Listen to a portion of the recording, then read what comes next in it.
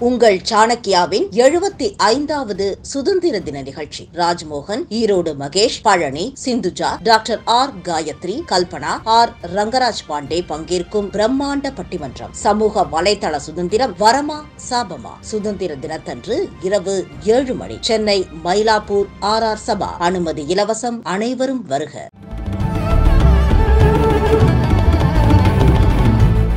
அன்பார்ந்த பாரதிய ஜனதா கட்சியினுடைய சொந்தங்களே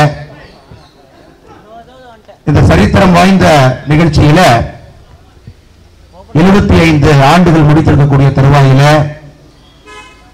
இந்த சுதந்திர தினம் என்பது சரித்திரம் வாய்ந்த சுதந்திர தினத்துக்கு வந்திருக்கக்கூடிய பாரதிய ஜனதா கட்சியினுடைய தலைவர்களே தொண்டர்களே பத்திரிகை நண்பர்களே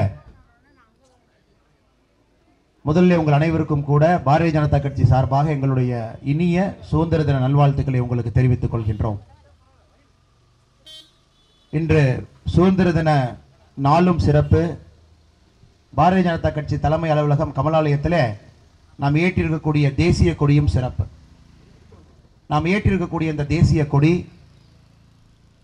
காஷ்மீர் மாநிலத்தில் ஒரு பெண்கள் நடத்தக்கூடிய சுய உதவி குழுவில் தயார் செய்யப்பட்டு அந்த தேசிய கொடி இங்கே வரவழைக்கப்பட்டு பாரதிய ஜனதா கட்சியினுடைய தலைமை அலுவலகமான கமலாலயத்தில் இந்த தேசிய கொடி ஏற்றப்பட்டிருக்கிறது.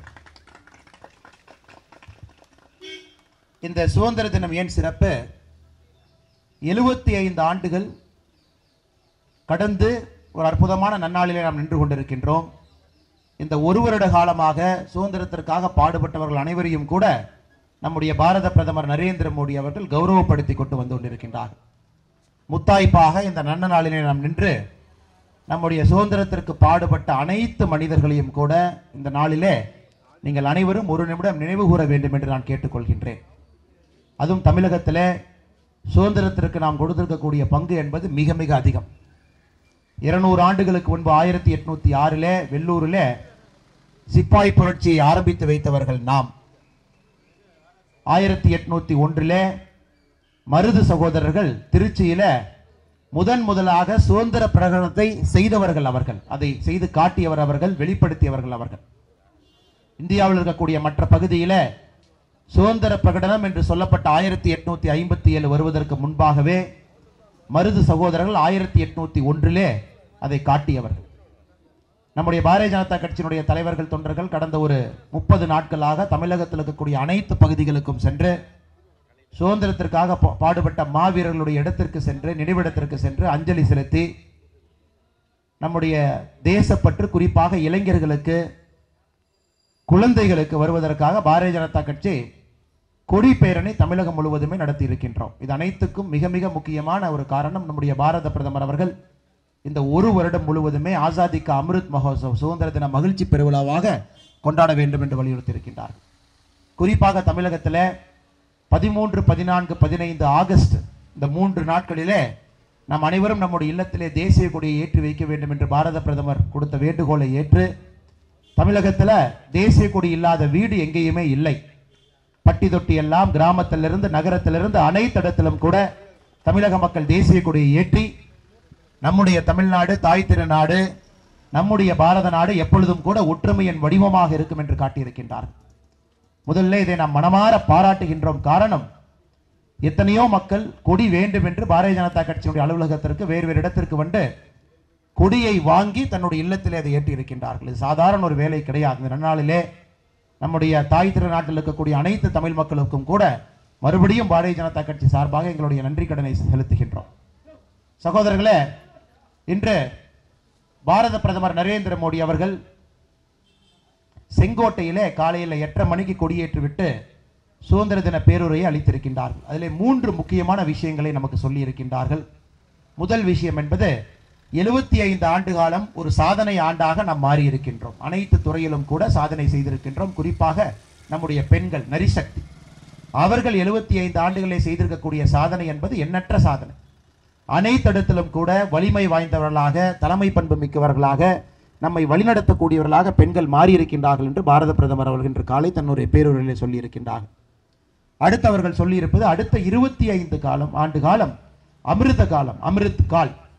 இரண்டாயிரத்தி இருபத்தி இரண்டிலிருந்து இரண்டாயிரத்தி நாற்பத்தி ஏழு வரை அனைவரும் கூட நம்முடைய நாட்டினுடைய வளர்ச்சிக்காக நாடு வல்லரசாக மாறுவதற்காக எந்த துறையில் நாம் இருந்தாலும் கூட அந்த துறையிலே சாதனை மனிதர்களாக நாம் வர வேண்டும் என்றும் கூட வலியுறுத்தி இருக்கின்றார் மூன்றாவது மிக முக்கியமாக அவர் சொல்லியிருப்பது நம்ம நாட்டுக்கு இருக்கக்கூடிய இரண்டு சேலஞ்சஸ் நம் கண் முன்னால் இரண்டு முக்கியமான பிரச்சனைகள் இருக்கிறது.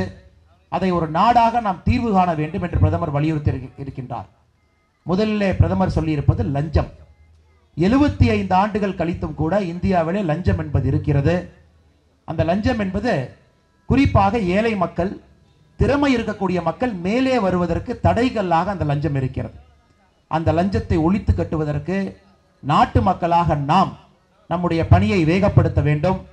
குறிப்பாக இந்த லஞ்சத்தின் மூலமாக வாழுகின்ற மனிதர்களை அடையாளம் காணப்பட்டு அவர்களை அப்புறுத்தப்படுத்த வேண்டும் என்று செங்கோட்டையிலிருந்து பிரதமர் அவர்கள் சூழ்நிலைத்திருக்கின்றார் இரண்டாவது நம்முடைய பிரதமர் அவர்கள் சொல்லியிருப்பது பரிவார்வாடு பாலிடிக்ஸ் அதாவது குடும்ப அரசியல். குடும்ப அரசியலை எழுபத்தி ஐந்தாவது சுதந்திர தின இந்த நேரத்திலே செங்கோட்டையிலிருந்து சொல்லியிருக்கின்றார்கள்.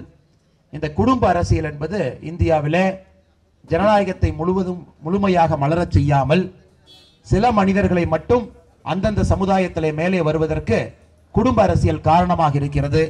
அதனால் நாட்டு மக்களாக நாம் அனைவரும் இணைந்து குடும்ப அரசியலும் கூட ஒழித்து கட்ட வேண்டும் என்று சொல்லியிருக்கின்றார் இரண்டும் மிக முக்கிய விஷயங்களாக தமிழ்நாட்டுக்கு நமக்கு தெரியும். தமிழ்நாட்டிலே மிக முக்கியமாக இரண்டு விஷயங்கள் தலைவிருத்தாடுகிறது. ஒன்று லஞ்சம் லாவண்யம். இரண்டாவது குடும்ப அரசியல். இது இரண்டும் கூட பாரத பிரதமர் அவர்கள் சுதந்திர தின உரையிலே இந்தியாவிற்கு பொதுவா பொதுவாக மேற்கோள் காட்டி இருக்கின்றார்கள். அதற்காக பாரதிய ஜனதா கட்சி பாடுபடும். கட்சியாக லஞ்சத்தை ஒழிப்பதற்கு குடும்ப அரசியலை அப்புறப்படுத்தி உண்மையான ஜனநாயகத்தை கொண்டு வருவதற்கு பாரதிய ஜனதா கட்சி நிச்சயமாக கடுமையாக உழைக்கும் என்றும் கூட இந்த நேரத்திலே நம்முடைய தலைவர்கள் சார்பாக தொண்டர்கள் சார்பாக தமிழக மக்களுக்கு நாங்கள் தெரிவித்துக் கொள்கின்றோம். அதே நேரத்தில் நம்முடைய ஹெச் வி ஹண்டே ஐயா அவர்கள் இங்கே வந்திருக்கின்றார்கள். தொண்ணூத்தி ஐந்து ஆண்டுகள் கடந்தவர். நேற்று பாரத பிரதமர் அவர்கள் தன்னுடைய ட்விட்டர் பக்கத்தில் சமூக வலைத்தளத்திலே ஹண்டி ஐயா அவர்களை பற்றி புகழாரம் சூட்டியிருக்கின்றார்கள். தமிழ் மக்கள் அனைவருக்கும் கிடைத்த பெருமையாக பார்க்கின்றோம். தொண்ணூத்தி ஐந்து ஆண்டுகளுக்கு முன்பு அவர் ஆரம்பித்த இந்த பத்திரிகை அந்த பத்திரிகையை பற்றி மேற்கோள் காட்டி டாக்டர் ஹண்டே அவர்கள் பேசியிருக்கும் பொழுது இருபது ஆண்டுகள் அவர் மாணவராக இருக்கும் பொழுது நடத்திய பத்திரிகை. அதை மேற்கோள் காட்டி டாக்டர் ஹெச் ஹண்டே அவர்கள் ட்விட்டரில் பேசியிருந்தார்.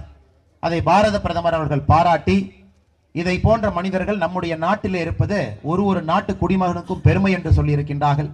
அதிலே டாக்டர் ஹெச் வி ஹண்டே அவர்கள் பாரதிய ஜனதா கட்சியில் இருக்கின்றார்கள் என்பது நமக்கு மட்டற்ற ஒரு மகிழ்ச்சி ஒரு பெருமையும் கூட. அதே நேரத்தில் நம்முடைய மூத்த தலைவர் நமக்கு வழிகாட்டக்கூடிய தலைவர் எப்பொழுதும் கூட தன்னுடைய கொள்கையிலிருந்து அடிபெறலாத ஒரு மனிதர் அண்ணன் ஹெச் ராஜா அவர்கள் இங்கே வந்திருக்கின்றார்கள். அவரையும் இந்த நேரத்தில் வரவேற்று மாநிலத்தினுடைய துணைத் தலைவர் நாராயண திருப்பதி அண்ணன் இங்கே இருக்கின்றார்கள். தேசிய செயற்குழு உறுப்பினராக இருக்கக்கூடிய தமிழக மக்களுடைய இதயம் கவர்ந்த குஷ்பு அவர்கள் இங்கே இருக்கின்றார்கள். அவரையும் வரவேற்று மாநில செயலாளர்கள் கரத்திய தியாகராஜன் அவர்கள் சுமதி வெங்கடேஷ் அவர்கள் இங்கே இருக்கின்றார்கள். குறிப்பாக இரண்டு முக்கியமான மனிதர்கள். இந்த அலுவலகத்தில் நிகழ்ச்சி சரியான நேரத்தில் நடந்து கொடுக்கின்றால் இரண்டு முக்கியமான மனிதர்கள் காரணம். நம்மை தினமும் வழிநடத்திக் கொண்டிருக்கக்கூடிய மாநிலத்தினுடைய துணைத் தலைவர் அண்ணன் வி. பி. துரைசாமி அவர்கள் பின்னால் இருந்து தினமும் இயக்கி கொண்டிருப்பவர் இந்த தேசிய கொடி நிகழ்ச்சிக்கு பொறுப்பேற்று நம் அனைவரையும் கூட இங்கே இருப்பதற்கு காரணக்கத்தலாக இருக்கக்கூடிய மாநிலத்தினுடைய துணைத் தலைவர் அண்ணன் கருநாகராஜன் அவர்கள் எப்போதும் சிரமப்பட்டு ஒரு ஒரு வேலையும் செய்ய நன்றாக செய்ய வேண்டும் என்று நினைக்கக்கூடியவர்கள். இந்த நேரத்தில் இங்கே இருக்கக்கூடிய அனைத்து தலைவர்கள் அணிப்பிரிவு தலைவர்கள் மாவட்ட தலைவர்கள் அனைவரும் இங்கே வந்திருக்கின்றீர்கள். உங்களுக்கு மறுபடியும் என்னை நன்றி கலந்த வணக்கத்தை தெரிவித்து அடுத்த இருபத்தி ஐந்து ஆண்டு காலம் நம்முடைய பணி எப்படி இருக்க வேண்டும் என்று பிரதமர் சொல்லியிருக்கின்றார்கள். நமது மூன்றாண்டு நான்காண்டு ஐந்தாண்டு பணி கிடையாது. இருபத்தி ஐந்து ஆண்டுகள் பணி. அமிர்த காலத்திலே இந்தியா உலகத்தினுடைய தலைமை நாடாக வரும் பொழுது அதனுடைய விஸ்வகுருவாக தமிழகம் வருவதற்கு நாம் அனைவரும் பாடுபட வேண்டும் என்று உங்களுக்கு வலியுறுத்தி வேண்டுகோள் விடுத்து என்னுடைய உரையை முறை கொடு- முடித்துக் கொள்கின்றேன். இந்த அலங்காரம் மிக அற்புதமாக நமக்கு அலங்காரம் செய்த கலை கலாச்சார பிரிவினுடைய தலைவர் அண்ணன் பெப்சி சிவா அவர்களுக்கு இந்த நேரத்திலே அவருடைய குழுவிற்கு நன்றி கலந்த வணக்கத்தை தெரிவித்து சுதந்திர தினத்தை இன்னும் சிறப்பாக மாற்றியிருக்கின்றீர்கள் அண்ணா. மறுபடியும் உங்களுக்கு நன்றி. குறிப்பாக நம்முடைய அலுவலக செயலாளர் அண்ணன் சந்திரன் அவர்கள் பாரதிய ஜனதா கட்சியினுடைய பொதுச் செயலாளர் அமைப்பு பொதுச் செயலாளர் அண்ணன் கேச விநாயகம் அவர்கள் இந்த கொடி காஷ்மீரிலிருந்து வளவழைத்து இதை இங்கே ஏற்ற வேண்டும் என்ற ஒரு உறுதி நிலைப்பாட்டோடு கொடியை கொண்டு வந்து ஏற்றிருக்கின்றார்கள். அவருக்கும் இந்த நேரத்தில் நன்றி கலந்த வணக்கத்தை தெரிவித்துக் கொள்கின்றேன். சென்னையிலே நமக்கு இருக்கக்கூடிய ஒரே ஒரு மக்கள் பிரதிநிதியாக இத்தனை காலம் இருந்த அக்கா உமா ஆனந்த் அவர்கள் அவர்களுக்கு இப்போது இரண்டாவதாக கூட மக்கள் பிரதிநிதி வந்திருக்கின்றார்கள். உமா ஆனந்த் அக்கா அவர்களுக்கும் நன்றியை தெரிவித்து அனைவருக்கும் என்னை நன்றி கலந்த வணக்கத்தை தெரிவித்து மறுபடியும் உங்களுக்கு சுதந்திரத்தின் நல்வாழ்த்துக்களை வந்திருக்கக்கூடிய பத்திரிகை நண்பர்களுக்கும் வணக்கத்தை தெரிவித்துக் கொள்கின்றோம்.